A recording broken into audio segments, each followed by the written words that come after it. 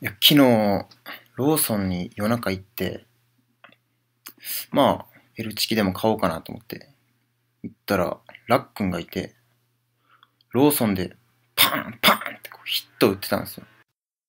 ローソンで踊っちゃうなんてお前、アンポンタンだなって。鎌田翔吾のオールナイトニッポン。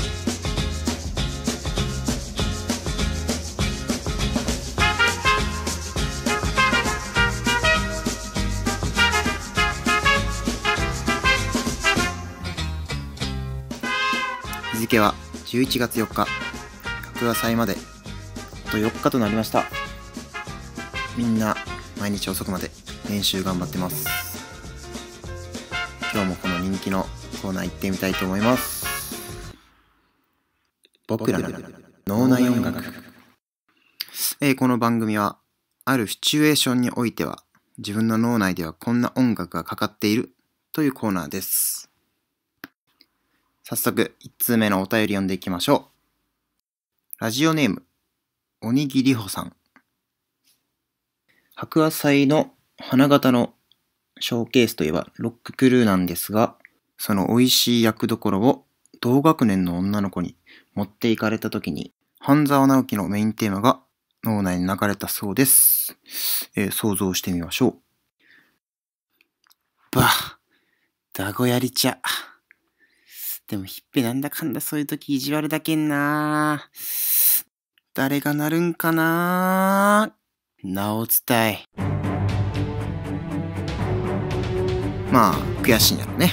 お笑いキャラは私みたいなとこがあるのに、うわそこ、なおなんやっていうね。もうあの、半沢直樹のもうあの、あの口ね、もう想像できるね。もうはい、続いて、ラジオネーム、どんちゃん。先日、沖縄に旅行に行ったんですが、そこで風俗に行って、いろんな意味で一皮向けた時に、ドラクエのレベルアップした時の BGM が脳内に流れたそうです。想像してみましょう。あ、はい、あ、あ、あ、やばい、あ、あ、あ、あーはーって皮むけとるじゃねえや。まあ、レベルアップと言えるんかはね、ちょっと微妙なところやけど。まあね、ドンちゃんにとってはいい経験になったやろな。はい。では最後のお便りです。ラジオネーム、DJ ミッチー。2、3年前、長崎に原付一人旅に行っている時に、斉藤さんで出会った女の子の車に乗りました。その時、えードライブしていると、急に相手の手が自分の股間に近づいてくるのが分かりました。その時に、えーホイットニー・ヒューストンのあの有名な曲が脳内に流れたそうです。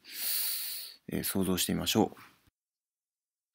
まあね、風俗で童貞してるやつなんかリアルじゃないよね。えお前、お前、いいと。お前、あ、お前それ実際やべえ。